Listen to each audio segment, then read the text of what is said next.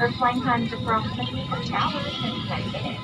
Ang lipad na ito ay pinangungunahan ni Kapitan Antonio del Rosario sa tulong ng unang opisyal, Patrick Go.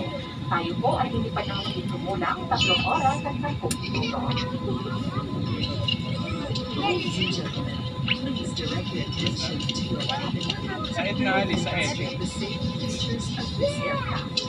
Each seat is provided with a seat In